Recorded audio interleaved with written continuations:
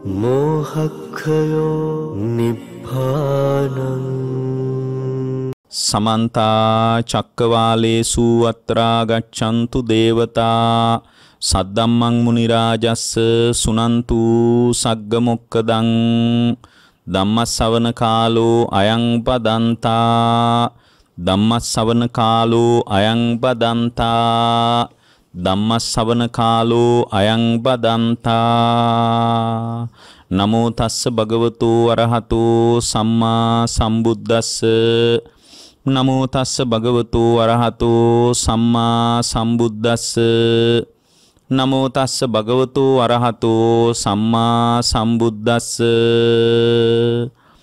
ඒ අපගේ ශාස්ත්‍ර වූ සම්මා සම්බුදුරජාණන් වහන්සේට අපගේ নমස්කාරය වේවා.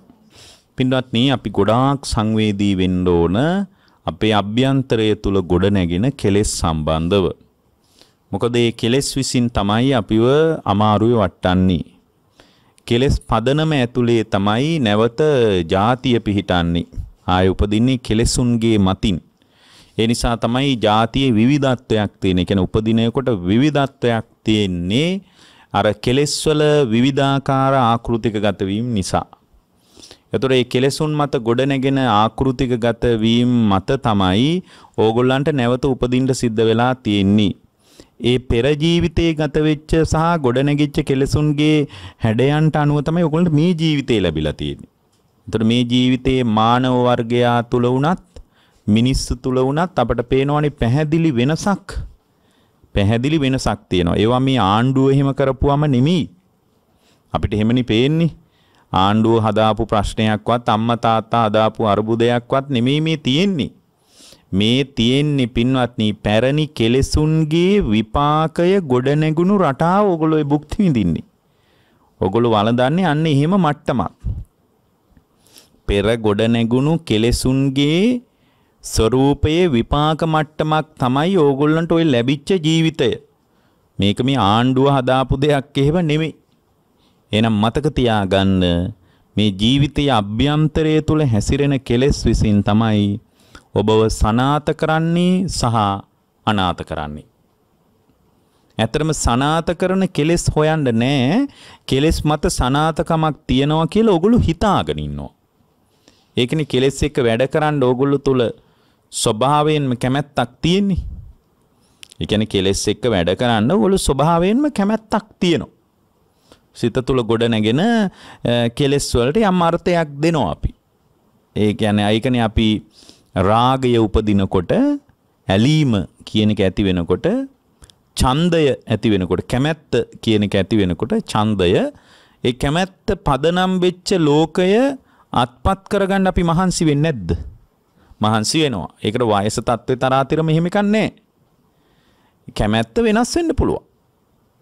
අම්මා කැමති දෙයට නෙමෙයි දරුවා කැමති දරුවා කැමති දෙයට නෙමෙයි අම්මා කැමති ඒක දරුවා කැමති දෙයට නෙමෙයි අම්මා කැමති කියලා අම්මා කැමති ඒවා නැතුව නෙමෙයි අම්මගේ කැමැත්ත වෙනයි අම්මා කණ්ඩ කැමති විදිය දේවල් වෙනයි අම්මා අඳින්න කැමති දේවල් වෙනයි දරුවා අඳින්න කැමති දේ වෙනයි දරුව කණ්ඩ බොන්න කැමති දේවල් වෙනයි එහෙම වෙනසක් තියෙනවා. කැමැත්ත නෑ නෙමෙයි. කැමැත්ත විවිධත්වයක් තියෙනවා. එතොට ඒ කැමැත්ත පදනම් වෙච්ච ලෝකය පසුපස අපි වේගෙන් හඹාගෙන යන්න නැද්ද? හඹාගෙන යනවා. ඇයි?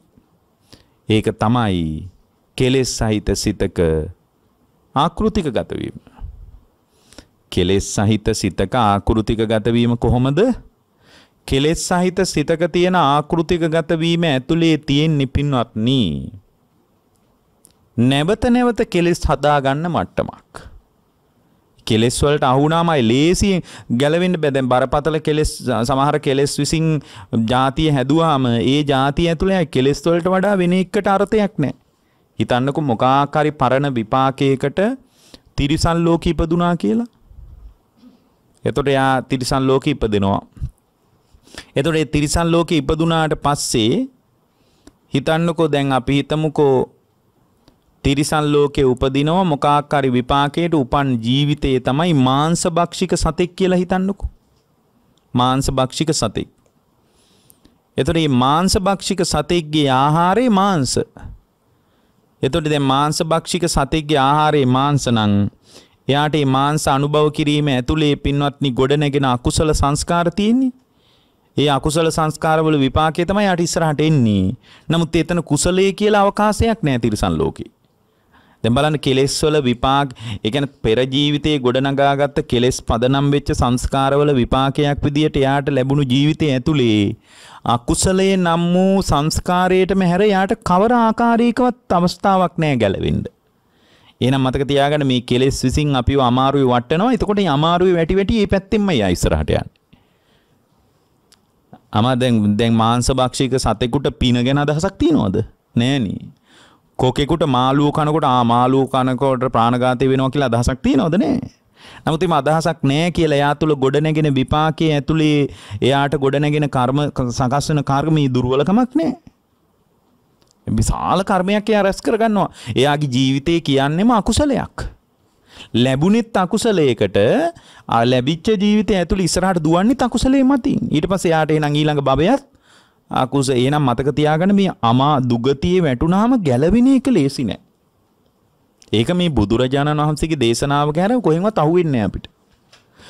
අමාරුවේ වැටුනහම ඒ අමාරුවේ වැටිච්ච කෙනෙකුට පින්වත්නි ගැලවෙන එක ලේසි නෑ. ගැලවෙන්න අමාරුයි. අමාරුවේ වැටුණොත්. ඒ නිසා අපි අමාරුවේ නොවැටී ඉන්න තරම් අපි වෙනස් වෙන්න ඕන. දැන් කොහොම හරි ওই විදියට අමාරුවේ වැටි වැටි ඉඳලා ඔන්න අපිට හම්බුණා ධර්මයක්. මේ ධර්මයේ හම්බුනේ එකෙත් ඕගොල්ලෝ ආයෙත් අමාරුවේ වැටෙනවා නම් ඒකට අපිට කරන්න දෙයක් නැහැ. අපි බිහින් ධර්මී කියනවා ධර්මී පිළිසරණත් කියනවා ඕගොල්ලන්ට ඕනම් ප්‍රශ්න කරන්න පුළුවන් මේ ධර්මී ගැන ඕගොල්ලෝ ප්‍රශ්න කරන්න පුළුවන් අපි. එතකොට එහෙම ප්‍රශ්න කරන්නත් හොඳට අවකාශය තියෙද්දී කෙලෙස්වල තියෙන අවදානමත් කියනවා. කෙලෙස්වල ගොඩනැගෙන විපාකස්කන්ධය අර්බුදයක් කියනවා. ඒවා මතින් ගොඩනැගෙන අභිසංස්කාරවල අවදානමත් කියනවා. ඒ අවදානෙ මේ වැටුණාට පස්සේ ඔයගොල්ලෝ දිගින් දිගට අවදානමට පැටලිලා ගැට ගැහිලා දන්වැලක පුරුක් වගේ ගැට ගැහිලා ගැට ගැහිලා යනවා. ඊට පස්සේ ඒ කුසලය මොකද්ද අකුසලය මොකද්ද සත්‍යය මොකද්ද අසත්‍යය මොකද්ද ධර්මය මොකද්ද අධර්මය මොකද්ද? එහෙම බෙදා ගන්න බැරි මට්ටමේ අනාතකමක් වෙනවා. ඒ අනාථකමට අහු වුණාට පස්සේ ආයේ සනාත වෙනවා ලේසි නෑ. කොකෙකුට මාළුව කන එක යාගේ ප්‍රධාන දේ නම් මාළුවෙක් කනකොට කොකෙකුට අදහස එන්නේ නැහැ. මාළුවෙක් කනවා කියන එක ඇතුලේ ජීවිතයක් තව කෙනෙකුට අහිමි වෙනවා. ඒක ඇතුලේ ප්‍රාණඝාතේ නම් වූ අකුසල සංස්කාර රැස් වෙලා ඒක විපාකයක් විදිහට ආයෙත් මම මාළුව අතර උපදින්න පුළුවන්. ඇයි මේ මාළුවෙක් විදියට කොකා කොකෙක් විදියට කර්මී ගෙවලා කර්මී රැස් කරගන්නකොට මාළුවෙක් විදියට කර්මී ගෙවනකොට ඒ විදියම කර්මයක් නේ යට රැස් වෙන්නේ. එතකොට යත් ආයෙත් මාළුව අතර උපදිනවා. මාළුව අතර ඉපදිලා ඔය විදියටම මමත් කොකෙකුට ගොදුරක් වෙනවා. එතකොට ආයෙත් ඔය විදියටම මාළුවයි කොකයි අතර කැරකි කැරකි ඉන්නවා හැර මට වෙන දෙයක් නෑ වගේ අර සාංශාරික ඒකට අනුරූපී විපාකයක් ඒ විපාකය තුල ගොඩනගා ගන්න කර්ම ශක්තියත් ඒකට අනුරූපී විපාකයක් කියලා අර දුගතිය පැත්තටම පෑහි පෑහි යන එක අපට නවත්ත ගන්න බැහැ කියලා බුද්ධ දේශනාවක් ඇතුලේ අපට මේ කතාව තේරෙනවා කොකෙකුටවත් මාළුවෙකුටවත් ওই කතාව තේරෙන්නේ නැහැ. හැබැයි කොකෙක් විදියට මාළුවෙක් විදියට අමාරු වැටුනේ මේ මනුස්සලෝකේ හිටපු මිනිහෙක්මයි. සුගතියේ හිටිය කෙනෙක්මයි කොකෙක් අතරත් ඉපදුනේ. හැබැයි යාට ඒකෙන් ගොඩ එනවා බොරු ආය. කාලයක් ඒ විඳවීම ඇතුලේ ඉඳලා මොකක් හරි පරණ කුසලයක් විපාක දීලා කුසල් නැතුව නෙමෙයි නමුත් එයා එයා තුළ අර අනුරූපීව අකුසලයත් එක්ක පෑහි පෑහි යන ගතියට අනුව එයාට ලැබෙන නිබඳුම ජීවිතයක්. නමුත් අපි අපි හිතන්නකො අපි කොක්කු අතරයි මාළු අතරයි ඉපදිලා ඉඳලා ආවා කියලා. ඉඳලා ආවත් පින්වත්නි අපිට ආපු එකේ දැන් මේ මේ මෙහෙම ගමනක් තියෙන්නේ. මේ බඳු අවදානමක් තියෙන්නේ කියලා දැන් මේ ධර්මයේ ඇහෙනවනේ. මේ ධර්මයේ කොකෙකුට කිව්වත් යන්නේ නැහනේ ඔළුවට. මාළු ටැංකියක් ළඟට ගිහින් මේ ධර්මයේ කිව්වා කියලා මාළුන්ට යනවද? මේ ධර්මයේ මනසට? යන්නේ නෑනේ එහෙනම් ඒකට අවකාශය සැලසිලායි අපිට තියෙන්නේ. ධර්මයයි අධර්මයයි පැහැදිලිව වෙන් කරගන්න පුළුවන් මට්ටමකයි අපි ඉන්නේ. කුසලයයි අකුසලයයි වෙන් කරන්න පුළුවන් මට්ටමක අපි ඉන්නේ. සත්‍ය අසත්‍ය බෙදලා තේරුම් ගන්න පුළුවන් මට්ටමක අපි ඉන්නේ. ඒ මට්ටම ඇතුළෙත් ඉඳලා ඕගොල්ලෝ කාමාස්වාදයෙන් විතරක් මුසපත් වෙලා ජීවිතේ අතහැරලා දානවා නම් ඒකේ වගකීම ඕගොල්ලෝ ගන්න ලෑස්ති වෙන්න. මේ ලෝකෙ මොන්න විදියට කරණම් ගැහුවත් පින්වත්නි ඕගොල්ලෝ අවදානමේ වැටෙන එක නම් නවත්තන්න පුළුවන් මෙබඳු සුන්දර ධර්මයකට විතරයි. ඕගොල්ලෝ අවදානමේ වැටෙන එක නවත්තන්න පුළුවන් මෙබඳු සුන්දර ධර්මයකට විතරයි. පින්වත්නි බුද්ධ දේශනාවේ තියෙනවා මේ පුද්ගල භාව හතරක්. එකක් තමයි උට්ටාන පලූප ජීවී න කම්ම පලූප ජීවී. පින්වත්නි සමහරා ඉන්නවා උට්ටාන වීරියෙන් ජීවත් වෙනවා කර්මඵලයෙන් ජීවත් නොවන එහෙම ධර්මයේ යෙදුමක් තියෙනවා. ඒ කියන්නේ මේ දැන් ඕකම දෙපැත්තට කියනවා. කම්ම පලූප ජීවීන උට්ටාන පලූප ජීවි. උට්ටාන පලූප ජීවීන කම්ම පලූප ජීවි. පින්වත්නි මේ ජීවිතය කියන්නේ ඔය දෙකට. ඔය දෙකෙන් සමහර ඒවාට අපි අර්ථය වැඩියෙන් දෙනවා සමහර ඒවාට අර්ථය අඩුවෙන් දෙනවා. උට්ටාන පලූප ජීවී මට්ටමයි කම්ම පලූප ජීවී මට්ටමයි තමයි ඕගොල්ලන්ට ලැබුණු ජීවිතය ඇතුලේ හැසිරෙන්නේ. එතකොට උට්ටාන වීරිය මත උට්ටාන වීරිය මත ගොඩ නැගෙන එක තමයි අලුතෙන් ගොඩ නැගෙන භව සංස්කාර ටික. කම්ම පලූප ජීවී මට්ටම කියලා කියන්නේ පරණ කර්මයේ විතින් ඕගොල්ලන්ට ඔය ලැබුණු ජීවිතය. ඔච්චරයි මුළු මුළු සංසාරෙම ඔච්චරයි. මොකද්ද? පරණ කර්මයේ විසින් හදපු මට්ටමක් තියෙනවා. අලුතින් ගොඩනැගෙන මට්ටමක් තියෙනවා. අලුතින් ගොඩනැගෙන මට්ටමක් තියෙනවා. පරණ කර්මයෙන් හැදුණු දෙයක් තියෙනවා. හැදුණු දේ මත පිහිටා ඒක උඩ හිටගෙන අලුතින් හදාගන්න ඒවා ටිකක් තියෙනවා. ඔච්චර තමයි පින්වත්නි සංසාරය කියන්නේ. මේ සංසාරික සත්වයාගේ පැවැත්ම කියන්නේ ওই කාරණා දෙකට. ඒ දැන් උට්ටා කම්මපලූපජීවී මට්ටම කියන්නේ මේ වෙලාවේ ඔයගොල්ලන්ට ගොඩනැගුණු ස්කන්ධ ටික. ඔයගොල්ලන්ගේ සිත. ඔයගොල්ලන්ගේ රූපය. ඔයගොල්ලන්ගේ නාම ධර්ම ටික. ඔයගොල්ලන්ගේ විඥානස්කන්ධය. ඕගොල්ලන්ට දැනෙන වීන්දනය. සංඥා ටික. සංස්කාර ටික. ඒ කියන්නේ සිතුවිලි ටික. මේ ටික තමයි කම්මපලූපජීවී මට්ටම. ඔය ජීවිතය පරණ කර්මයෙන් ලැබුණු එක. එතුරේ කර්මයෙන් ලැබුණු එක ඇතුළේ හිටගෙන ඊට පස්සේ අපි මොනවද කරන්නේ? ඊට පස්සේ උට්ටාන පලූප ජීවි. උට්ටාන පලූප උට්ටාන කියන උත්සාහ කරනවා මොනව මතද? ආයෙත් කෙලෙස් මතින් සංස්කාරවලට ඔන්න ඕක තමයි අවිද්‍යා සහගත සත්වයේගේ අවිච්ඡින්න පැවැත්ම. අවිච්ඡින්න පැවැත්ම. එතකොට එහෙනම් දැන් අපි මෙතනදී අරුබුදයක් කරගන්න හොඳ නෑ කම්මපලූපජීවී මට්ටම. පැරණි කර්මයේ පින්වත්නි පැරණි කර්මඵලයෙන් ජීවිතේ ලැබුණු මට්ටම අපි කවදාවත් අරුබුදයක් කියලා හිතන්න හොඳ නෑ. ওই ලැබුණු එක කවදාවත් ප්‍රශ්නයක් නෙමෙයි. ඕක ප්‍රශ්නයක් ඒ කියන්නේ උට්ටා කම්මපලූපජීවී මට්ටම අරුබුදයක් කියලා හිතෙනකොට සමහරට හිතෙන්න පුළුවන් මේ ජීවිතේ වැඩක් නෑ ජීවිතේ නැති කරගන්න ඕන කියලා. නැති කරගන්න ඕන ජීවිතයක් නෙමෙයි ඕගොල්ලන්ට ලැබිලා තියෙන්නේ. ඕගොල්ලන්ට ලැබිලා තියෙන්නේ අතිශය දුර්ලභ එකක්. ජීවිතය කියන්නේ අතිශය දුර්ලභ එක. ඒ ජීවිතය ඇතුලේ අර මාළුවෙක් වෙලා කොකෙක් වෙලා හිටියොත් එහෙම ඒ ජීවිතය ඇතුලේ පෑහි පෑහි යන අකුසලයේ පැත්තට මෙන්න කුසලයක විපාකයක් විදියට ධර්මයක විපාකයක් විදියට පිනක මහිමයක් විදියට ඕගොල්ලන්ට ලැබිලා මනුස්ස භවය. ඒකේ කණ්ඩ තියෙන්නත් පුළුවන් නැති වෙන්නත් පුළුවන්. ඒකෙදි මෙහි අපි මුහුණ දෙන්න නොයෙක් ප්‍රශ්න තියෙන්න පුළුවන්. ඒ නොයෙක් ප්‍රශ්නවල ඇතුලේ පින්වත්නි මිරිකි මිරිකි ඉන්න ගමන් ඕගොල්ලන්ට හිතෙන්න පුළුවන් මෙහි එදිනෙදා ජීවිතය ඇතුලේ මුණ ගැහෙන ප්‍රශ්න ටික තමයි අරුබුද ටික කියලා. ඒවා විසඳ විසඳ ඉන්න ඕගොල්ලන්ගේ හිත තුළ රුචියකුත් එන්න පුළුවන්. දැන් සමහරට කෙනෙකුට හිතෙන්න පුළුවන් මේ ගත කරන ජීවිතයට අරුබුදය මේ ගත කරන ජීවිතයට අරුබුදය මේ එදිනෙදා රටාව ඇතුලේ අපි පත් කරගත්ත පාලකයෝ කියලා. ඊට පස්සේ ආ උත්සාහ කරනවා පාලනය වෙනස් කරන්න. දන්නේම නැතුව මෙරිලා යනවා. අන්න ඒකයි මේ යථාර්ථවාදී චින්තනය නැති වුණාට පැවිද්දෙක් වුණත් එහෙමයි. පැවිද්දෙක් වුණත් එහෙමයි. දැන් භික්ෂුවක් ඉන්නවා. දැන් මම දන්න එක හාඳුරු කෙනෙක් හිටියා මේ මේ දැන් වැඩි කල නෑ. දැන් මට මේ මේ මෑත කාලේ හම්බුනේ. කාලෙකට කලින් ඔය ඉන්න කාලේ හොඳට වත් පිළිවෙත් කරගෙන ඒ කියන්නේ හැම වෙලාවකම සිවුර ඒකාංශ කරගෙන බොහොම ගෞරවනීය විදියට බුද්ධ රජාණන් වහන්සේගේ ශ්‍රාවකයෙක් විදියටමයි ඒ ශ්‍රාවකත්වයේ ඇතුලේ මහා පුදුම විදියට දායාද වෙච්ච කෙනෙක්. ඉතින් මේ ඔය ඊට පස්සේ ඔන්න උසස් පෙළ ඒවා මේවා කරා කරලා විශ්වවිද්‍යාලෙ ගියා. විශ්වවිද්‍යාලෙ ගිහින් මේ ළඟදි මට හම්බුණා. මේ මේ මෑත කාලේ හම්බුණා. විශ්වවිද්‍යාලේ යද්දී ඇත්තටම පුදුම ශ්‍රද්ධාවක් තිබ්බා. ආචාර ගෝචර සම්පන්නකමක් තිබ්බා. අනුමාත්‍ර වරදටත් බයක් තිබ්බා ඒ භික්ෂුවගේ. පොඩි දෙයටත් බයයි. කවදාවත් එයාගේ සිතින් කයින් වචනින් වැරදිනවට එයා බයයි. දැන් ඔන්න මේ ළඟදි මට හම්බුණා. ඒ මූලික ශ්‍රද්ධාව මුලින් තිබුණු අර අනුමාත්‍ර වරදෙහි බය දකිනකම මුලින් තිබුණ වීර්ය සම්පන්නකම ඒ මුලින් මේ භික්ෂුව තුල තිබුණු සිහිමත්කම සතිමත්කම ඒ මුලින් මේ භික්ෂුව තුල තිබුණු සමත විපස්සනා වශයෙන් හිත පුහුණු කිරීම පිළිබඳව ඇතිවෙච්ච උනන්දුව දැන් එකක්වත් නැහැ.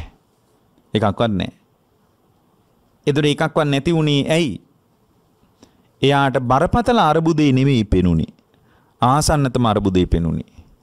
ආසන්නතම අරබුදේ පෙනුනේ. සමහරට ආසන්නතම අරබුදේ ඇතුලේ කෙනෙකුට හිතෙන්න පුළුවන්. අපේ අම්මට බල එයා මේ මිහි හේතු හොයා ගන්නවා. මිහින් හේතු හොයනවා. අම්මට බලන්න කෙනෙක් නැහැ. තාත්තා එතකොට අර නිකම් සමාජය ඇතුලේ මහ විශාල සානුකම්පිතකමක් එනවනේ. දැන් එයා පැවිද්ද අතහරින්න ඕන වුණාම කියනවා මේ අනේ මේ අපේ අම්මට බලන්න කෙනෙක් නැහෙනි. ඒ නිසයි මම යන්නේ. පැවිදි ජීවිතයේ ඇතුලේ පින්වත්නි පිළිවෙත් පුරාගෙන යන කෙනෙකුට එයාට අම්මට බලන්න ඕන කියලා අදහසක් එන්නේ නැහැ. එයාට උමනා වෙන්නේ අම්මත් සතර අපායෙන් ගලවන්න ඕන කියන අදහස. අම්මට බත් කවන්න ඕන කියන අදහස නෙමෙයි එන්නේ. අම්මා බත් ටිකක් නම් කොහෙන් හරි කයි. වේලක් කර වේලක් කාලා හරි කමක් නැහැ මුන්දත් සතර අපායෙන් ගලවන්න ඕන කියන අදහස එන්නේ. මේ සංසාරේ නම් මොන්න තරම් දුක් සහිතයිද ඒ දුක් සහිත සසරේ මේ මාව බිහි කරපු අම්මව ආයේ සංසාරයට වැටෙන්නේ නැත්තම් හොඳයි කියන අදහස එන්නේ. ඒක ඇතුලේ නිකන් දරුවෙක් සාමාන්‍ය දරුවෙක් අම්මා දිහා බලන ඇඟැලුම්කම ඉන්නේ ධර්මයේ දන්න කෙනෙකුට. ඒ සාමාන්‍ය දරුවෙකුට අම්මා ගැන එනවා නේද ඇඟැලුම්කමක්. අම්මට කවන්න ඕන. අම්මා ඉස්සරහකින් හිටගෙන ඉන්න ඕන. අම්මට බෙහෙත් පොවන්න ඕන. ඔය වගේ වයින්නවා නේද? ඒවා පින්වත්නි අපිට කොහොම හරි කරගන්න පුළුවන්. ඒවා ඔක්කොම කරලා ආයෙත් අම්මා සතර අපායට වැටෙන මට්ටම නම් තියෙන්නේ. නිරේට වැටෙන කතියන් නම් තියෙන්නේ. තුන් වේලට හොඳ සනීපෙට කාලා සතර අපායට වැටෙන මට්ටමේ හිතක් නම් අම්මට තියෙන්නේ. ඒ භික්ෂුව බලන්නේ එයාව කොහොමද සතර අපායෙන් ගල. ඒක තමයි සැබෑ කරුණාව. සමහරට ඒ අම්මල තාත්තලට නිකන් ඒ ඒ ධර්මී කියන කෙනාගේ කරුණාව නිකන් ධර්ම ධර්මී කියන කෙනා දරුවෙක් නෙමේ වගේ හිතෙන්න පුළුවන්. ඉතින් එහෙම හිතුණා කියලා කරන්න දෙයක්වත් නැහැ. ධර්මයක් දන්න කෙනෙකුට දැනෙන සීමාව වෙන කතාවක්. ධර්මයේ දන්න කෙනෙකුට දැනින්නේ අම්මා විතරක් නෙමෙයි. මේ උපන් සත්වයා පැරණි කර්මයෙන් හැදිච්ච අය නැවත සතර අපායට වැටෙන ස්වરૂපයේ හිතක් තියන අය අනී සතර අපායට වැටෙන්නේ නැත්තම් හොඳයි. එතනදී මේ අම්මට බත් කවන්න ඕන කියන අදහසට එහා ගිය ගැඹුරු අර්ථයක් එන්නේ. දැන් මේ ළඟදී මට කිව්වා එක එක්කෙනෙක් මේ ඒ මම දැක්කයි ඒ අයා මේ යන්නේ මේ අම්මට අම්මා අම්මව බලන්න කෙනෙක් නැල්ලු. එතකොට මේ පැවිදි වෙච්ච කෙනෙක් එයා කියනවා මේ අම්මට බලන්න කෙනෙක් නැහැ.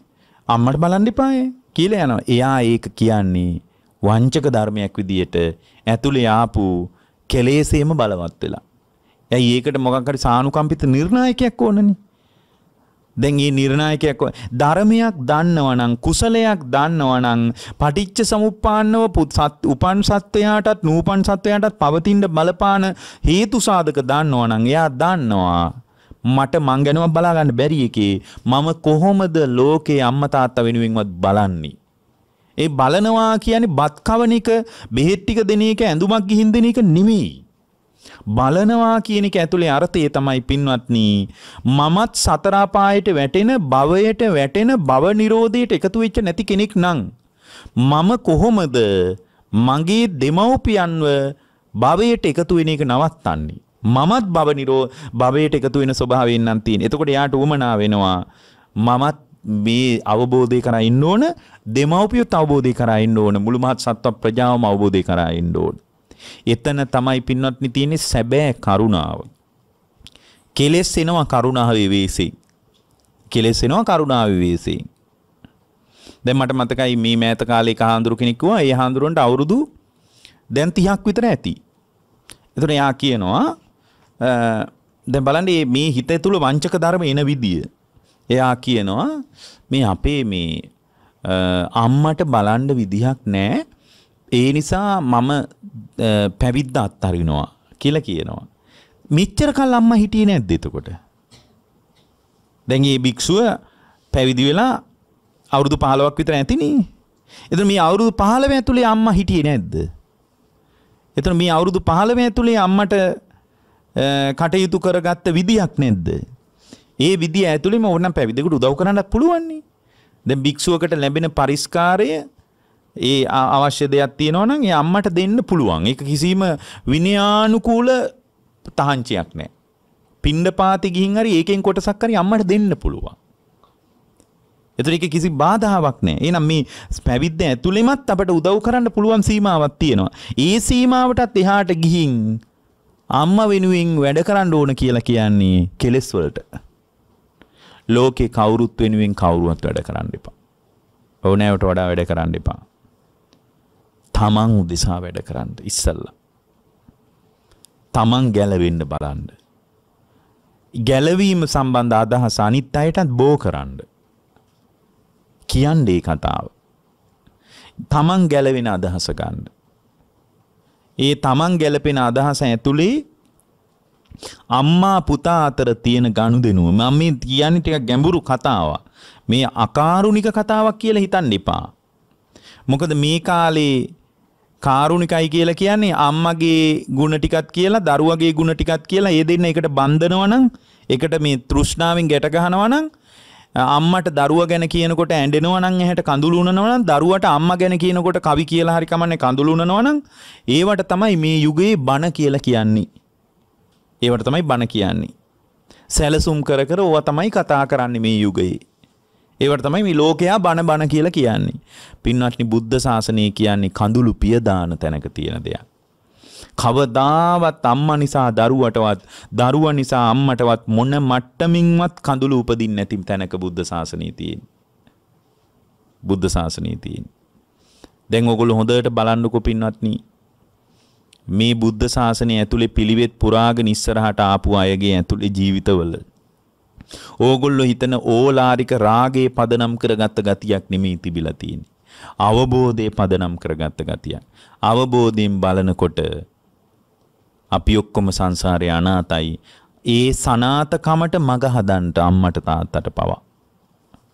දරුවන්ට පවා. දෙමව්පියන්ගෙන් දරුවන්ටත් ඒ සනාතකමට උපකාරය මේ යුගයේ ලැබෙන්නේ ඒ නිසා ඕගොල්ලෝ මේ ජීවිතේ තේරුම් ගන්න.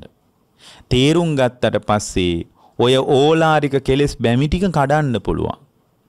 ඔය ඕලාරික කෙලෙස් බැමි ටික කඩන්නේ නැතුව අවබෝධය කියලා දෙයක් ලෝකෙට සාධාරණ නැහැ. ඕලාරික කෙලෙස් බැමි ටික කඩන්න නැතුව අවබෝධය කියලා එකක් ගැන කතා කරන්න බෑ. කතා කරන්න බෑ. දරුවත් අල්ලගෙන මුණුබුරත් අල්ලගෙන අල්ලපු ගෙදවල් වල දරුවොත් අල්ලගෙන බත් කව කව ඉන්න මට්ටමක් නම් අම්මට තියෙන්නේ. ඒ අම්මා අනාතයි. මොකද ඒ අම්මා වටේ ඉන්න අයට බත් කැවුවා කියලා සුගතිය යන්නේ ඒ අම්මා සුගතිය යන්නේ භාවිත සිතක් හදාගත්තොත් විතරයි. ඒතර දරුවත් කරන්න ඕනේ ඒ භාවිත සිතට අම්මට උදව් කරන්න ඕනේ. ඇඳුනුත් ගිහින් දෙන්න. කෑම ටිකක් දෙන්න. බෙහෙත් ටිකක් දෙන්න. ඒ ටික ඔක්කොම කරන ගමන් භාවිත සිතකට තල්ලුවක් දෙන්න. ඒක තමයි මේ බුද්ධ ශාසනයේ දරුවෙකුට අම්මා තාත්තා වෙනුවෙන් කරන්න පුළුවන් ඉහළම දේ. අම්මටත් එහෙමයි දරුවා වෙනුවෙන් කරන්න පුළුවන් බත් කවන එක නෙමෙයි. බත් කවන එක ඇතුලේ තියෙන්නේ ඕලාරික රාගයක් අම්මට.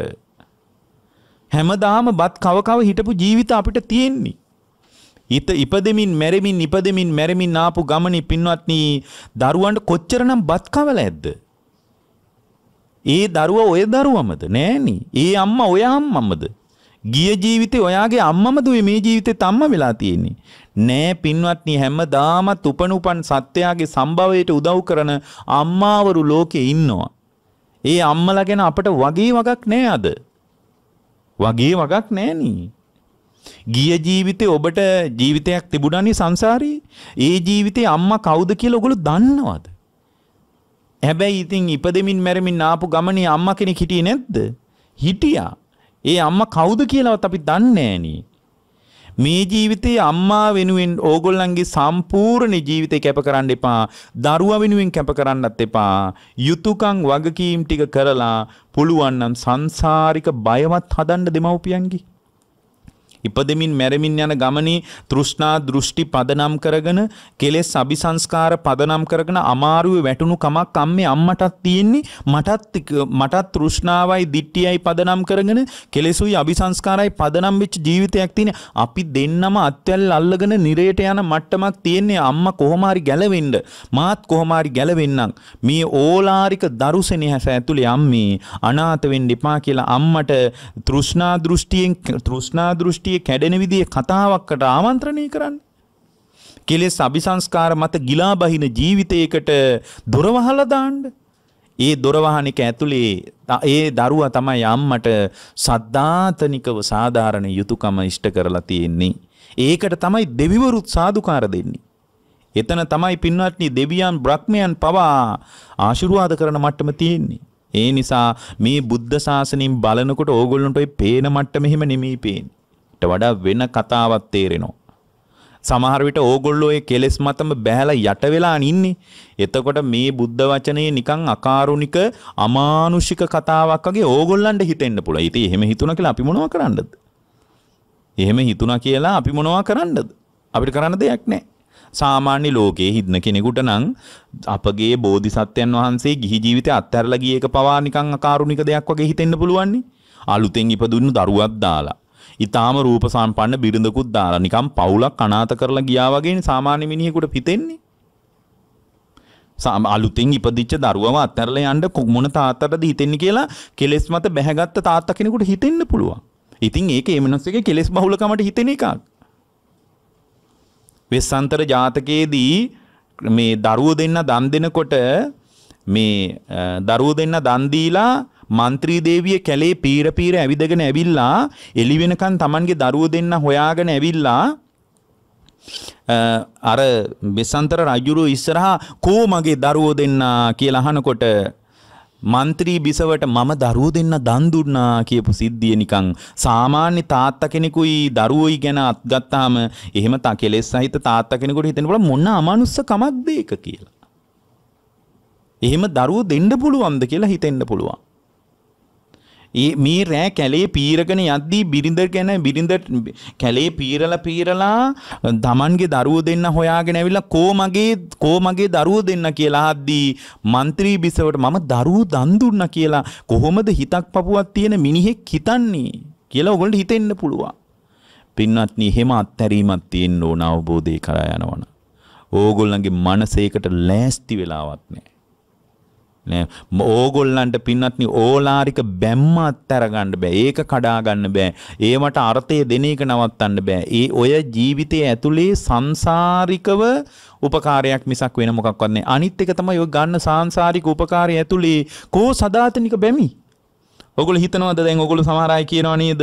මේ ඔක්කොම යුතුයකම් වගකීම් ටික කරන්නේ අපේ දරුවෝ වෙනුවෙන් කියලා. ඒ දරුවත් එක්ක මොකද්ද ඔයගොල්ලන්ට තියෙන සාංසාරික ගනුදෙනුව? ඕගොල්ලෝ මැරුණට පස්සේ ඔන්න හත් දවසට දාන් ටිකක් දෙයි. එතනින් පස්සේ ඕගොල්ලන්ගේ භවයේ වෙනුවෙන් කෝ දරුවෙකින් උදව්වක්.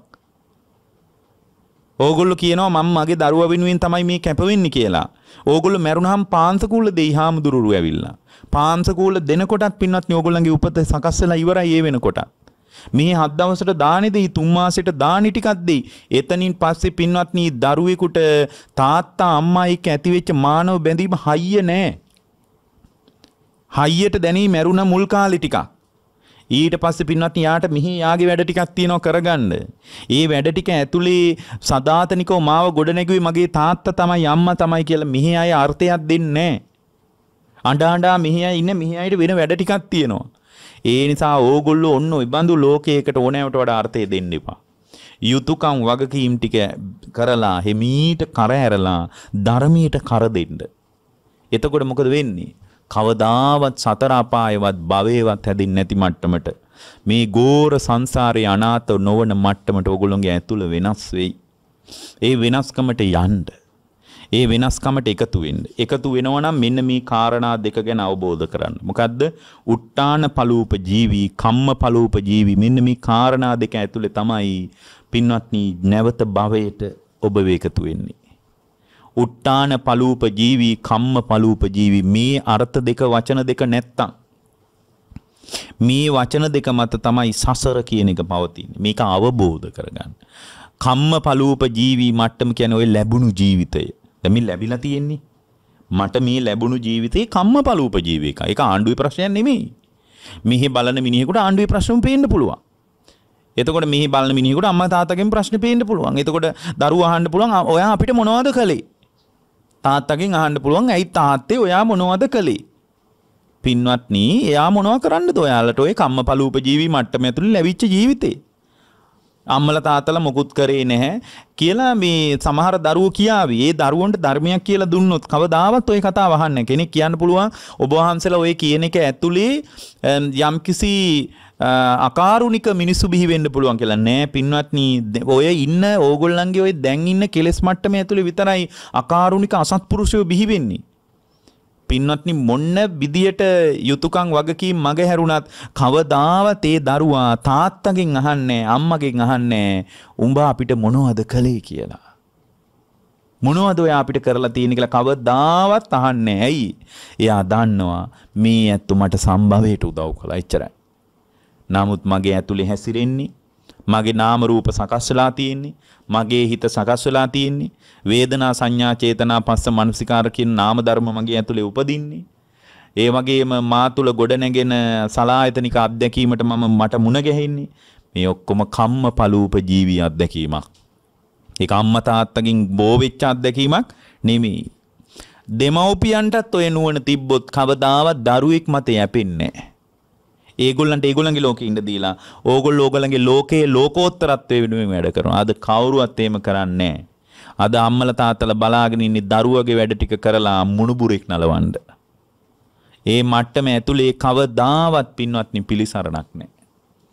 කවදාවත් පිළිස අම්මටත් තිබ්බොත් මේ කම්මපලූප ජීවී මට්ටමක් තමයි මගේ අභ්‍යන්තරිකව හැසිරෙන්නේ. කම්මපලූපජීවී මට්ටමක් තමයි මගේ අභ්‍යන්තරයක මට විපාක දීලා තියෙන්නේ. මේක මගේ පැරණි කර්මයක් දරුවා කරපු එකක් නෙවෙයි. දරුවා කරපු එකක් නෙමෙයි කියලා දැක්කොත් පින්වත්නි ඒ දැක්ම ඇතුලේ පුදුම විදියට ඒ අම්මා ස්වාධීනයි. එයාට දරුවා මත යැපෙන්න උවමනාවක් නැහැ. එයා වේලක් කර වේලක් කාලා හරි ලෝකෝත්තරත්වයේ වෙනුවෙන් වැඩ කරනවා. ලෝකයේ ඇතුලේ එයාට වැඩ කරන්න උවමනාවක් නැහැ. ලෝකේ වැඩ කරන එක දුකක්මයි කියලා එයා තේරුම් අරගෙන ලෝකෝත්තරත්වයේ වෙනුවෙන් පෙළ ගැහෙනවා. දැන් ওই සමහර අය කැමරාත් අටවගෙන මේ යනවා ඔය දැන් ඔය YouTube බරවම තියෙනවනේ වැඩිහිටි නිවාසවල මම දැක්කම ඊයේ පෙරේදා වීඩියෝ එකක් කරලා තියෙනවා. ඒ අම්මා හරියට දුක් වෙනවා. මෙහෙම දරුවෝ ටිකක්ද මං හැදුවේ කියලා. වැඩිහිටි නිවාසයක ඉඳලා. හැබැයි පින්වත්නි ධර්මයක් තිබ්බොත් ඒ අම්මා අප්පුඩි ගහලා එදාට hina වෙනවා. අප්පුඩි ගහලා hina වෙනවා. දරුවත් ඇතහැරිලා මුණුබුරත් ඇතහැරිලා ලෝකෝත්තරත්වයේ වෙනුවෙන් පාර සම්පූර්ණයෙන් පිරිසුදු වෙලා දැන් මට යන්න විතරයි තියෙන්නේ. ඒ අම්මා එදාට තමයි අප්පුඩි ගහලා hina වෙන්නේ. ඒ අම්මලාට අපි ධර්මයේ දීලා නැහෙනි. ඒ වැඩිහිටි නිවාසයේ ඉඳලා ඒ අම්මා හදපු දරුවෝ ගැන කියනවා. ද වෛද්‍යවරු ගැන කියනවා. දරුවෝ උගත්තු මෙන්න මේ මේ උගත්කම් මමයි හැදුවේ කියනවා. හදපු මම මෙහි ඉන්නවා මං හදපු දරුවෝ ටික තමයි ඔය ඔය ඉස්පිරිතාලේ වැඩ කරන්නේ බැංකුවේ වැඩ කරන්නේ කියලා එයාගේ දරුවෝ ගැන එයා කිය කියා ඉකි ගගා අඬනවා. එතකොට අර කැමරාකාරයෙක් ඒක අරගෙන ගිහින් ඒක වීඩියෝ කරලා ඉන්ටර්නෙට් එකට දානවා. එතකොට මිනිස්සු අනේ අපොයි මෙහෙම දරුවෝ කියලා ලෝකයාට බැන බැන මේ මිනිස්සු කෙලෙස් හදා ගන්නවා වෙනම. මෙහෙමත් දරුවෝ ඉන්නවාද කියලා වෙනම කෙලෙස් හදා ගන්නවා. පින්වත් එතකොට කෙනෙක් කියනවා ඇයි එහෙනම් මේ ලෝකේ සාධාරණයක් ඕනේ නැද්ද? පින්වත්නි ලෝකේ සාධාරණයක් කියලා කොහෙද තියෙන්නේ? ඕගොල්ලෝ කියන්නකෝ මේ ලෝකයේ ඇතුලේ කොහේ හරි සාධාරණී කියලා එකක් බලාපොරොත්තු වෙන්න පුළුවන්ද කියලා? සාදා දැන් අපි අපි ලංකාවේ මාධ්‍ය ආයතන වලට බනිනවා. ලංකාවේ මීඩියා ඔක්කොම අන්තගාමී කියලා. පින්වත්නි හැම මාධ්‍ය ආයතනයක්ම කාට හරි වැඩ කරනවා. හැම මාධ්‍ය ආයතනයක්ම කාට හරි වැඩ කරනවා. BBC එක ගත්තත් ඒගොල්ලෝ හිතවාදීකම් පවත්වනවා. ලංකාවේ ප්‍රධාන නිවුස් ගැන කතා කරනවානේ අල් ජසීරා කී කී කතා කරන්නේ. ඒ හැමෝම කොහේ හරි රටකට ගැතිකම් කරන ගමන් තමයි වැඩි කරන්නේ. හැම ආයතනයක් මෙහෙමයි. ලෝකේ ඒ එහෙනම් මේ ලෝකේ සාධාරණී කියලා එකක් හොයන්න එපා. අධිකරණය ඇතුලේ සාධාරණයක් හොයන්න එපා. ශ්‍රේෂ්ඨාධිකරණය ඇතුලේ සාධාරණයක් හොයන්න එපා. මිහි මානව හිමිකම් උල්ලංඝනය වුණා කියලා මානව හිමිකම් ප්‍රඥප්ති සම්බන්ධව හොය හොයා මානව හිමිකම් සම්බන්ධව ලෝකෙට ගිහින් ඉල්ලන්න එපා. ලෝකෙන් මානව හිමිකම් කියලා එකක් හම්බ වෙන්නේ නැහැ. ඕගොල්ලන්ට කර්මී හිමිකමක් ලැබිලයි තියෙන්නේ. ඒ හිමිකම ඇතුලේ මානව හිමිකම් වලට හම්බෙන්නේ පහළ තැනක්. කර්මී හිමිකම කියන එක බොහොම ඉහළින් තියෙන තැනක්. මානව හිමිකම් මානව සදාචාරාත්මක ආචාර ධර්ම ඒ වගේම නෛතික ප්‍රඥප්ති ඒවා හොයලා වැඩක් නැහැ. එහෙම ඒවා කෙලෙස් සහිත මිනිසුම හදාගත්ත ඒවා. කෙලෙස් සහිත මිනිස්සු ඉන්නේ එක පැත්තකනේ. මඳහත් සිතක් නැහැනේ කෙලෙස් සහිත මිනිහෙකුට. ධර්මයක් තිබ්බොත් ඡන්දයෙන්, द्वේෂයෙන්, මෝහයෙන් අගතියට යන්නේ නැතුව යම් කිසි නිර්ණායක ටිකක්වත් ඉදිරිපත් කරන්න පුළුවන්. නැත්තම් පින්වත්නි කෙලෙස් සහිත මිනිස්සෙක්ගෙන් කොහොමද මදහත් පිළිතුරක් බලාපොරොත්තු වෙන්නේ? කවදාවත් ලංකාවේ අධිකරණ දූෂිතයි ලංකාවේ අධිකරණ පද්ධතිය දූෂිත වෙලා මෙන්න මේ රටවල් වල නම් අධිකරණ පද්ධතිය බොහෝම පාරිශුද්ධයි කියලා කියලා එහෙම ඒවා හොයාගෙන යන්න එපා. කොහෙවත් එහෙම පාරිශුද්ධ නෑ. හැම තැනකම කෙලෙස් වලින් කුණු වෙච්ච මිනිස්සු එක්ක තමයි වැඩ කරන්න වෙන්නේ. එහෙනම් ලෝකයේ ඇතුලේ කොතන ගියත් සාධාරණයක් නෑ. සාධාරණේ හොයාගෙන ලෝකයට ගියපු මිනිසුන්ගේ කතාව ඇහුවාම තේරෙනවා. මෙහි අසාධාරණේ වෙනවා කියලා ලෝකයට ගියපු මිනිස්සු බොහෝ දෙනෙක් බුදුරජාණන්සේගේ ධර්මයේ වට එකතු වෙලා ඉන්නේ. අපි දන්නවනේ ඔය ඇමරිකාව, එංගලන්තේ, ඕස්ට්‍රේලියාවේ මිනිසුන්ට අපි බණ කියනවනේ. ලංකාවෙන් ගිය මිනිසුන්ට ඒගොල්ලෝ මුළු ලෝකයක් දිනා ගන්නම් කියලා ගිහින් තියෙන එංගලන්තෙට. එහෙට ගියාට පස්සේ තේරෙනවා ලෝකයක් දිනා ගන්න එංගලන්තේ බෑ කියලා. එතකොට ආයෙත් ඒගොල්ලෝ ආයෙත් බුද්ධ ශාසනය හොයාගෙන මේ පැත්තට හැරිලා ඉන්නේ. ගොඩාක් විදේශගත වෙච්ච මිනිස්සු බලන්නකෝ ඒගොල්ලෝ ධර්මයේ දියුණුවක් කරා යනවා. ඒගොල්ලන්ට තේරෙනවා ලෝකේ දිනා ගන්න දෙයක් නැහැ කියලා. මේක ඇතුලේ ඉන්න මිනිසුන්ට හිතෙනවා මේකෙන් එහා පැත්තේ දිනන්න පුළුවන් ලෝකයක් හම්බ වෙයි කියලා. එහෙට ගියාට පස්සේ තේරෙනවා හැම තැනම පරාජිතකමයි තියෙන්නේ. කෙලෙසුන්ගේ පැරදිච්චකමක් කෙලෙස් මත උද්වේගයක් විතරයි තියෙන්නේ. සදාතනික නිවීමක් මේ ලෝකයේ ඇතුලේ කොහෙවත් නැහැ. එහෙමනම් ලෝකෝත්තරත්වයේ ඇතුලේ විතරයි සදාතනික නිවීමක් තියෙන්නේ කියලා එහෙම නිවීමක් මිනිස්සු හොයාගෙන හොයාගෙන දුවනවා. ඒ නිවීම අපේ අතේ දුරින් තියෙනවා අපි ඒකට පයින් ගැහුවට. ඕගොල්ලෝ සිහිය හදාගන්න ඕන කොහොමද? ඉන්ද්‍රිය අධ්‍යක්ීමට ප්‍රතිචාර දක්වන්න ඕන කොහොමද? අභ්‍යන්තර ශික්ෂණයකට පත් වෙන්නේ කොහොමද? තෘෂ්ණා දෘෂ්ටිය නැතුව ලෝකේ ප්‍රතිචාර දක්වන්න ඔයා මොනවද කරන්න ඕන? කෙලෙස් අபிසංස්කාර මත අලුතෙන් ගිලා බහින් නැතුව ඉන්න මොනවද කරන්න ඕන? අභ්‍යන්තරක සිත দমনී කරගන්නේ කොහොමද? හිත සැහැල්ලු කරගන්න නම් මේ වෙලාවේ මොනවද කරන්න ඕන? සදාතනික සැහැල්ලුවක් වෙනුවෙන් කරන්න ඕන විධික්‍රමය මොකද්ද? මේ හැම දෙයක්ම අපෙන් අහන්න අපි කියන්නේ නැද්ද බලන්න. ඕගොල්ලන්ට මේ ලෝකයේ ඇතුලේ තියෙන ලෝකයේ ලෝකයේ ඇතුලේ කෙලෙස් සහිත ලෝකයා විසින් ගවේෂණය කරන සියලුම වැඩපිළිවෙළවල් අතර ඕගොල්ලන්ට තියෙන ප්‍රශ්නේ දැන් අහන්න ඒකට උත්තරයක් බුද්ධ ශාසනය ඇතුලේ නැද්ද කියලා බලන්න. හැම තැනකම උත්තර තියෙනවා. ඒ හැම තැනකම උත්තර තියෙද්දී මිනිස්සු ඊට වඩා එකක් හොයාගෙන යනවා. මේ தත්ත්වය අවබෝධ කරගත්තොත් බුද්ධ ශාසනයේ පෙන්වන මඟ පෙන්වීම ඇතුලේ ඕගොල්ලෝ රැකවරණේ හදාගත්තොත් ඕගොල්ලෝ කවදාවත් අනාත නැහැ. කවදාවත් ඕගොල්ලෝ අමාරු වැටෙන්නේ ඒ නිසා ඕගොල්ලෝ තේරුම් ගන්න ඕනේ මෙච්චරයි. මොකද්ද? මා තුල හැසිරෙන්නේ උට්ටාන පලූප ජීවි මට්ටමයි කම්ම පලූප ජීවි මට්ටමයි විතරයි. මේ මොහොත තුල මම සිහිය උපදවගෙන මේ දෙක සමබර කරගන්න විතරයි තියෙන්නේ. සිහිය තමයි මැදින් තියාගෙන මේ දෙක සමබර කරන්න. මේක එක පැත්තකට වැටිලා ඉන්නේ. ඒකයි ධර්මී කියන්නේ උට්ටාන පලූපජීවී න කම්ම පලූපජීවී. සමහර අය ඉන්නවා පින්වත් මහණෙනි උට්ටාන උට්ටාන වීරයෙන් ජීවත් වෙනවා කර්මඵලයෙන් ජීවත් වෙන්නේ නැහැ. අන්න අසමපාතයි. සමහර අය ඉන්නවා කම්ම පලූප ජීවී න උට්ටාන පලූප ජීවී. සමහර අය ඉන්නවා කර්මඵලයෙන් ජීවත් වෙනවා නමුත් උට්ටාන වීරියෙන් ජීවත් වෙන්නේ නැහැ. ඒ කියන්නේ එක පැත්තකට බර වෙලා. මේ දෙක තමයි පින්වත්නි සසර හදන්නේ. උට්ට කම්මපලූප ජීවී කියන්නේ ලැබුණු ජීවිතේ. උට්ටාන පලූප ලැබුණු ජීවිතේ. ලැබුණු ජීවිතේ කියන්නේ කෙලෙස් මතින් හම්බුණු එක. එහෙනම් කම්මපලූප ජීවී කියන්නේ කෙලෙස් ටික. උට්ටාන පලූප ජීවී කියන්නේ ඕගොල්ලෝ සිතින් කයින් වචනින් උත්සාහ කරන මට්ටම. ඒ මොනවද? අபிසංස්කාර ටික. එහෙනම් උට්ටාන පලූප ජීවී කියන්නේ කෙලෙස් ටික. කම්ම පලූප ජීවී කියන්නේ කෙලෙස් ටික. උට්ටාන පලූප ජීවී කියන්නේ අபிසංස්කාර ටික. මේ කාම භූමියේ හරි රූප භූමියේ හරි අරූප භූමියේ හරි තුන් භූමියේම කොත්තනක හරි කමන්නේ ඔය ටිකට වඩා දෙයක් නැහැ පින්වත්නි ලෝකයේ ඇතුලේ. ඔය ඔය දෙපැත්තෙන් කොයි පැත්තක හරි තමයි ඕගොල්ලෝ මොන මට්ටමේ හිටියත් හිටගෙන ඉන්නේ. ඕගොල්ලෝ ඉන්න මට්ටම කෙබඳු මට්ටමක් වුණත් ඕගොල්ලෝ හිටගෙන ඉන්නේ ওই දෙපැත්ත ඇතුළේ. ඕගොල්ලෝ මෙන්න මේ කාරණා දෙක හදාගන්න. මෙන්න මේ කාරණා දෙක පිළිබඳව අවබෝධ කරගන්න. මොකද්ද? මේ ලැබුණු එක කම්ම ස්වාධීනයි එතකොට. කම්මු පලූපජීවී මට්ටම පැරණි පැරණි කෙලෙස් විසින් ගොඩනගාපු මට්ටමක් ඇතුලේ මං ඉන්නේ මේ මට්ටමට ලෝකයේ කිසිවෙක්වත් වග කියන්න ඕනේ පොදුවේ පොදුවේ අභාග්‍යයට බලපාන පොදු සාධක ටිකක් තියෙනවා ඒවා අපිට පුළුවන් වෙනස් කරගන්න. පො- වෙනස් කරගන්න පුළුවන්. පාලකයෝ හොරකම් කරනවා නම් ඡන්දකින් එයාට පුළුවන් වෙනස් කරගන්න. ඒක හෙට කරන්න බැරි වෙයි අනිද්ද කරන්න බැරි වෙයි ලබන මාසේ කරන්න බැරි වෙයි කවදා හරි පුළුවන් ඒවා වෙනස් කරගන්න. හැබැයි ඒක පොදු සාධක ඇතුලේ අපි කතා කරන එකක්. නමුත් පින්වත්නි අභ්‍යන්තරික සාධක දිහා බලනකොට సంతానගත දුක දිහා බලනකොට ඒ సంతానගත දුක කෙලෙසුන්ගේ ප්‍රතිලාභයක්. කෙලෙස්වල ප්‍රතිලාභයක් సంతానගත දුක. සංස්ථාගත වශයෙන් දුක ගැන කතා කරනකොට ඒකට බලපාන්න පුළුවන් පාරිසරික සාධක තියෙන සංස්ථාගත දුක. දුකේ ප්‍රභේද දෙකයිනේ సంతానගත දුක සහ සංස්ථාගත දුක කියලා. සංස්ථාවක් විදියට පොදුවේ රටක් විදියට අමුණ දෙන අර්බුදයට බලපාන්න පුළුවන් සාධක ගොඩක් තියෙන්න පුළුවන්.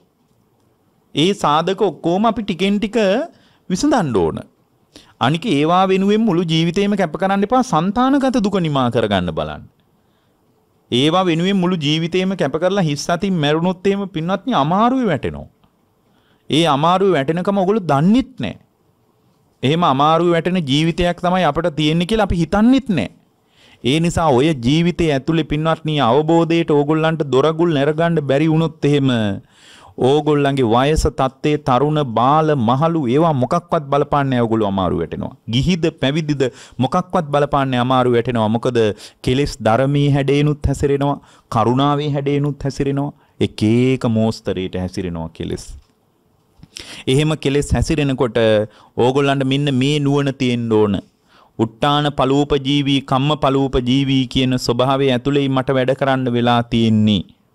කම්මපලූපජීවී මට්ටම ඇතුලේ ලැබුණු ජීවිතයයි මම මේ වළඳන්නේ. උට්ටාන පලූපජීවී මට්ටම ඇතුලේ නැවතත් භවයට එකතු වෙන, සසරට එකතු වෙන, දුකම හැදෙන විදියට මම මගේ සිත පාවිච්චි කළොත්, මම කයින් වැඩ කළොත්, මම වචනයෙන් කතා කළොත් ඒක විසින් නැවත අනාගතයේ මාව අමාරුවේ වට්ටනවාමයි කියලා සංතානගතව අරුබුදය විසඳා ගන්න පුළුවන් රටාවකට එකතු වෙන්නේ ඒ රටාව රටාවට එකතු කරන විදිහේ ආධ්‍යාත්මික ප්‍රවේශයක් තියාගන්න. ඒ ප්‍රවේශය ඇතුලේ ඕගොල්ලෝ මේ මොහොත තුල තියෙන්න ඕන ලක්ෂණ දෙකක් තියෙනවා. මොකද්ද? පින්වත්නි හුදේකලාවේදී කෙලෙස් ගැන සංවේදී වෙන්න. පිරිස මැදදී වචන ගැන සංවේදී වෙන්න. එච්චරයි. හරි සරලයි මම මේ කියන එක. මොකද්ද? තනියෙන් ඉන්නකොට කෙලෙස් ගැන කල්පනාවෙන් ඉන්න පරිස්සම් වෙන්න කෙලෙස් විසින් ගහන්න පුළුවන්. අභ්‍යන්තර කෙලෙස් විතර්ක විසින් ඔගොල්ලෝ අමාරු වටන්න පුළුවන්. හුදේකලාවේ ඉන්නකොට එහෙනම් මෙන්න මෙච්චරයි කරන්න ඕන. තනියෙන් ඉන්නකොට සිතුවිලි ගැන පරිස්සම් වෙන්න, පිරිස එක්ක ඉන්නකොට වචන ගැන පරිස්සම් වෙන්න. ජීවිතය කියන ඔච්චරයිනේ. ජීවිතය කියන්නේ ඔගොල්ලෝ ඉන්න මට්ටම කියන්නේ ওই දෙක විතරයිනේ. එක තනියෙන් ඉන්නවා එක මිනිසුත් එක්ක ඉන්නවා එච්චරයිනේ. එක තනියෙන් ඉන්නවා එක කටියත් එක්ක ඉන්නවා. පැවැත්ම ඇතුලේ ඔය ඔය දෙකට වඩා වෙන මොකක් හරි එකක් තියෙනවා නම් කියන්නකෝ. මොකක්වත් නැහැ. බලන්න මේ කරන්න බැරි එකක් එහෙම නෙමෙයි කියන්නේ. තනියෙන් ඉන්නකොට සිතුවිලි ගැන පරිස්සම් වෙන්න එච්චරයි. පිරිසත් ඉන්න එක ඉන්නකොට වචනත් එක්ක වචන ගැන පරිස්සම් වෙන්න. පිරිසත් එක්ක ඉන්නකොට වචන විසින් ඕගොල්ලෝ අමාරුවේ වටන්න පුළුවන්. තනියෙන් ඉන්නකොට සිතුවිලි ගලනවා සිතුවිලි විසින් ඕගොල්ලෝ අමාරුවේ වටන්න පුළුවන්. යම් මිනිසෙක් ප්‍රඥාගෝචර ශ්‍රාවකයෙක් විදියට ප්‍රඥාව ඇසුරු කරන ශ්‍රාවකයෙක් විදියට ඒ පුද්ගලයා තනියෙන් ඉන්නකොට සිතුවිලි ගැන සංවේදීකමක් තියනවා නම් සිතුවිලි ගැන යා පරිස්සම් නම් එයාට ගලාගෙන ඉන්න සිතුවිලි ගැන යාට වගකීම තියනවා කියලා යාට දැනෙනවා නම් ඒ සිතුවිලි අතර යා අමාරු වැටෙන්නේ නැති විදියට යාට සිතුවිලි කලමනාකරණයක් තියෙනවා නම් මූලික වශයෙන්.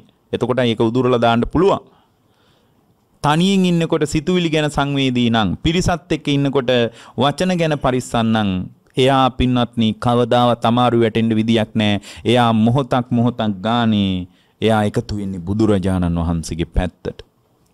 මොහොතක් ගානේම එකතු වෙන්නේ එයා බුදුරජාණන් වහන්සේගේ පැත්තට. එතකොට එයා එයාට තනියෙන් ඉන්නකොට සිතුවිලි සිතුවිලි ගැන ඊටාම පරිස්සම් එතකොට ඒ සිතුවිලි ඇති වෙනකොට එයාව පරිස්සම් කරන්න නම් ඒ මොහොතේ සිතුවිලි හටගන්නේ මනෝ සම්පස්සයෙන් මනෝ සම්පස්සයෙන් දැන් එතකොට දැන් අපේ සංවේදීකම තියෙන්න ඕන කාරණා දෙකකට එකක් සිතුවිලි පිරිස එක්ක ඉන්නකොට වචන වචන එක පරිස් වචන පරිස්සම් කරගන්න ඕන කියන එක ඕගොල්ලන්ට ටිකක් බැරෑරුම් දෙයක් විදිහට පේන එකක් නෑ. නමුත් පින්වත්නි මේ හැම වෙලාවක දැන් මේ පිරිසත් එක්ක ඉන්නකොට ඒ පිරිස අතර අපේ ජීවිතේ ගත්තොත් දැන් මේ අපි හරියට බණ දේශනානි කරන්නේ පිරිසත් එක්ක ඉන්නකොට ගොඩාක් වෙලාවට අපි අමාරු වැටෙන්නේ. ඒ ධර්ම කතාව විතරයි එළියට යන්නේ. බලන්නේ භික්ෂුවට තියෙන රැකවරණය දැන් මේ පිරිස පිරිස මුණ ගැහුණාම අපිට හැම වෙලාවෙම පිරිස මුණ ගැහෙනවා. පිරිස මුණ ගැහෙන හැම වෙලාවකම ධර්ම සංഭാෂණය විතරයි තියෙන්නේ. දැන් බලන්න මේ අයත් එක්ක මං අඳුරන්නෙත් නෑ ලොකුවට. දන්නෙත් නෑ. හම්බ වෙලත් නෑ. ඉතින් ඕගොල්ලෝ හම්බුණු පළවෙනි වතාව මේ අය මන්ට හිතන්නේ මට මාව මුණ ගැහිලත් නෑ මීට කලින්. නමුත් මම මේ කතාව ඊටාම රුචියකින් කැමැත්තකින් ඕගොල්ලන්ට ආමන්ත්‍රණය කරන්නේ නැද්ද? මේක ඇතුලේ ඕගොල්ලෝ මොනවද මට පූජා කරන පිරිකර එකක්වත් අපිට සංවේදී නැහැ. මේගොල්ලෝ ආයි බණ කියවයිද එකක් ගැනවත් මට අදහසක් නැහැ. එකක් ගැනවත් අදහසක් නැහැ. එහෙම අදහසක් නැතුව මං ඕගොල්ලන්ට ලෝකෝත්තරත්වයේ ගැන කතාව කියනවා. ඒක ඇතුලේ පින්වත්නි පිරිසත් එක්ක ඉන්නකොට මං කවදාවත් අමාරු වැටෙන්නේ නැහැ. පිරිසත් එක්ක ඉන්නකොට මට අමාරු වැටෙන විදිහක් නැහැ. මොකද මම මේ ඕගොල්ලන්ත් එක්ක කතා කරද්දි මගේ වචන ගැන මං හරි පරිස්සම්. හරි පරි. ඇයි මං කියවනේ පිරිසත් එක්ක ඉදි වචන ගැන පරිස්සම්. වචන ගැන සංවේදී වෙන්න කියලා. පරිස්සම්. ඇයි ඒතකොට වචන ගැන ඇයි පරිස්සම් වෙන්නේ? මේ වචන විදියට එළියට යන්නේ මගේ ඇතුලේ ගොඩනැගෙන මානසික විතර්ක. මම මේ කතා කරන්නේ මගේ හිතට ගොඩනැගෙන සිතුවිලි. එතකොට සිතුවිලිමනේ කර්මය කියන්නේ. චේතනාහම් භික්කවේ කම්මං වදාමි කියලානේ කියන්නේ. එතකොට දැන් ඕගොල්ලන්ට මම පටන් ගන්නකොට කිව්වා මේ ජීවිතය කියන්නේ උට්ටාන පළූප ජීවී මට්ටමයි කම්ම පළූප ජීවී මට්ටමයි කියලා. පින්වත්නි මේ වෙලාවේ මම මේ කාරණා දෙකෙන්ම අනාත වෙන්නේ. මේ මොහොත තුල මම මේ උට්ටාන පළූප ජීවී මට්ටම ඇතුළේවත් කම්ම පළූප ජීවී මට්ටම ඇතුළේවත් කෙබඳු ආකාරයකින්වත් මට අනාතකමක් නැහැ. අවංකව ඕගොල්ලෝ මේ හෝරාව ඇතුලේ මේ හෝරාව ඇතුලේ මම මේ කියපු ධර්ම කතාව ඇතුලේම නම් ඉන්නේ. අනාගත භවය කල්ප ගණන් දුර්වල වෙවි දුර්වල වෙවිනවා. ඇයි මේ කතාව ඇතුලේ වචන විසින් අනාත කරන සංഭാෂණයක් නෙමෙයි. හැබැයි ඕගොල්ලෝ ගෙදරට වෙලා කට්ටියත් එක්ක හිටියොත් දරු මල්ල ඔක්කොම වට කරගෙන හිටියොත් ඕගොල්ලන්ට සංවේදිකම නැත්තම් සිහිනුවන නැත්තම් පිරිසත් එක්ක ඉද්දී වචන ගැන පරිසං වෙන්න කිව්වේ ඒකයි. හේතුව වේගයෙන් කෙලස් ගලාගෙන ගලාගෙන එනවා හිතට. ඒවා තමයි එළියට පිට වෙන්නේ වචන විදියට. හැබැයි හුදේකලාවේ ඉන්නකොට හැම වෙලාවෙම තනියෙන් ඉන්නකොට සිතුවිලි ගැනයි සංවේදී වෙන්න ඕන.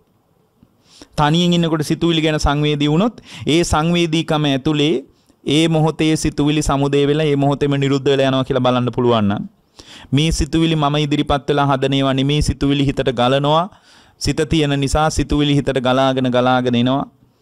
ඒවා ඇති වෙලා නැති වෙලා යනවා. සිතුවිලි ඇති වෙලා නැති වෙලා යනවා. ඒ ඇති වෙලා නැති වෙලා යන සිතුවිලි කියන්නේ සකස් වෙච්ච ඒවා හිතේ. සකස් වෙනවා ඒ සිතුවිලි. ඒවා ඇති වෙලා නැති වෙලා යනවා නම් ඒ සිතුවිලි මට ඕන විදියට මගේ කියන සීමාව ඇතුලේ මගේ වසඟේ පවත්වන්න පුළුවන් විදියට ඇති වෙනව නෙමෙයි. ඒ සිතුවිලි මම නෙමෙයි. ඒ සිතුවිලි මගේ නෙමෙයි. ඒ සිතුවිලි මගේ ආත්මේ නෙමෙයි. මේ සිතුවිලි මම කියලා හිතුවොත් සිතුවිලි මගේ කියලා හිතුවොත් ඒ සිතුවිලි යථාර්ථයක් කරගන්න මම සිතින් සැලසුම් කරන්න ගන්නවා ඊට පස්සේ. වචනින් ඒවා කතා කරන්න ගන්නවා. ඇඟින් වැඩ කරන්නත් ගන්නවා මම. එහෙම නොකල යුතුයි. ඒ සිතුවිලි ඇති වෙලා නැති වෙලා යනවා. සමුදේ වෙන සිතුවිලි ටිකක් තියෙන්නේ. ඒවා අනිත්‍යයි අනාත්මයි කියලා බලන්න පුළුවන් වුණොත් එයාට හුදෙකලාව තරම් නිවනට එක් කරන වෙන දෙයක් නැහැ. ඒ හුදෙකලා හෝරාව එයා නිවන පිණිසයි හදාගෙන තියෙන්නේ. ඔය විදියටත් බල ඕකට ඕගොල්ලෝ ඉන්න තැන වැදගත් නෑ. ගිහිද පැවිදිද කියන එක වැදගත් නෑ. අවබෝධයයි වැදගත්. එහෙනම් මතක තියාගන්න මුළු ජීවිතේ පුරාවටම හුදෙකලාවේදී සිතුවිලි ගැන පරිස්සම් වෙන්න පිරිස සමග ඉන්නකොට වචන ගැන පරිස්සම් වෙන්න. ඔය පරිස්සම විතරක් තිබ්බොත් ඕගොල්ලෝ නිවන පිණිස මොකුත්ම කරන්න ඕනේ ඔය වචන දෙක ඇතුලේ ඕගොල්ලෝ නිවනට එකතු වෙයි. ඒ බඳු අවබෝධාත්මක කුසලතාවයක් පිණිස මේ බුද්ධ දේශනාව හැම දිනාටම උපකාර වේවා කියලා